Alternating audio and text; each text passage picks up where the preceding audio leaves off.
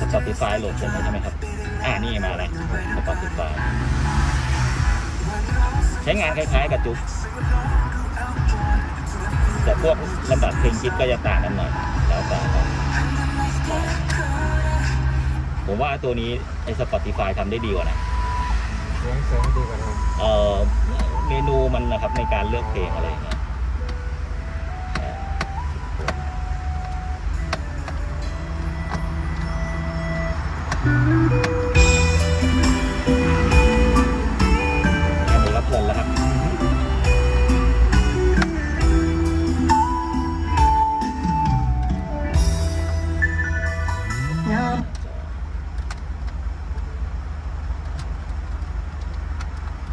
อ่าครับฝากเปิดฝากเปิดยูทูบอีกที